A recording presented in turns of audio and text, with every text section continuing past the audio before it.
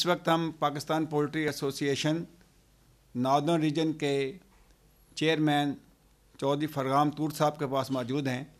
چودھری صاحب، آپ یہ بتائیے کہ اس وقت پولٹری انڈسٹری جس مسئلے یعنی شکار ہے، جس کا برائلر کا ریٹس کا اور لیئر کش کا، اس پہ آپ کی کیا رائے اور اس بحران سے نکلنے کے لیے پولٹری ایسوسیشن کیا اقدامات کر رہی ہے؟ میں آپ کا شکریہ ادا کرتا ہوں کہ آپ نے بر وقت اور یہ ایک مناسب ٹائم ہے جس پہ یہ ایک انٹرویو لے رہے ہیں۔ اس میں ہماری اس وقت ان پٹس بڑھ چکی ہیں۔ تقریباً ڈالر کی وجہ سے انفلیشن کی وجہ سے گرینز کے ریٹس کی وجہ سے تقریباً جو ہے نا وہ پچیس سے تیس فیصد فیٹ بڑی ہے اور بجلی کے ریٹس کی وجہ سے، ڈیزل کی وجہ سے وہ ہمارے ان پٹس ہیں اور اس وجہ سے جو برائلر ہے، وہ ہمیں تقریباً کوئی ایک سو تیس سے چالیس روپے فارم پہ ہاؤس پڑ رہا ہے اور سیلنگ اس کی پرائس ہے ایک سو چھ سات روپے اور انڈے کا بھی یہی حال ہے، جس وجہ سے فارمر جو ہے وہ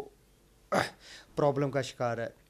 اور اس میں تجویز یہی ہے کہ گورنمنٹ جو ہے وہ ہمیں ڈیوٹیز میں ریلیف دے اور جو سبسڈی ہے وہ دے تاکہ ہم جو ہے وہ مارکیٹ میں اس کو کمپیٹ کر سکیں اور ہمارا جو ہے وہ مرغی اور انڈا اس کا ریٹ تقریباً کوئی پچیس سے تیس تیس فیصد بڑھ سکے۔ اس کے علاوہ جو انڈسٹری جو ہے وہ کیا اقدامات کر رہی ہے آج میٹنگ ہوئی ہے، آپ نے پاکستان بھر کے جو انڈسٹریلسٹ تھے اور پولٹری ایسوسیشن کے ممبران آئے تھے، کوئی اور کنزیومر ایجوکیشن کا وہ لاہ عمل طے ہوا آپ کے یہاں؟ جی۔ کنزیومر ایجوکیشن کا تو پہلے بھی کام چل رہا تھا، اس میں مزید ہماری کوشش ہے کہ ہم انڈے کے حوالے سے، اس کی افادیت کے حوالے سے اور مرغی کے گوشت کے اور اس کی افادیت کے حوالے سے بتا سکیں تاکہ جو ہے وہ جو لوگوں کی مت ہے، جو لوگوں کا خیال ہے کہ مرغی جو ہے وہ اس میں پروٹین کم ہے، دیسی مرغی میں زیادہ ہے یا اس میں کوئی اور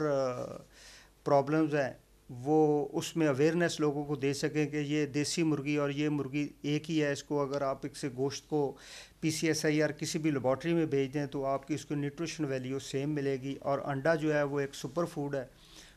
اس میں کسی بھی پرندے کا انڈا ہو، وہ مکمل اس میں ایک بچہ پیدا کرنے کی صلاحیت ہے، اس کو آپ استعمال کر سکتے ہیں، اس میں کوئی ایسا مسئلہ نہیں ہے۔ کوئی سیل وغیرہ بھی لگا رہے ہیں پولٹری والے؟ وہ ہمارا پروگرام ہے تاکہ ایک سیل لگائیں تاکہ جو اوور پروڈکشن ہے اس وقت وہ زیادہ ہے وہ تاکہ ایک تو ایک غریب آدمی کو سستی مرغی ملے اور ہمارا جو فارمز پہ اوور پروڈکشن ہے وہ بھی کم ہو سکے تاکہ آئندہ دنوں میں ریٹس تھوڑے جو ہے نا وہ ابو کاسٹ جا سکے۔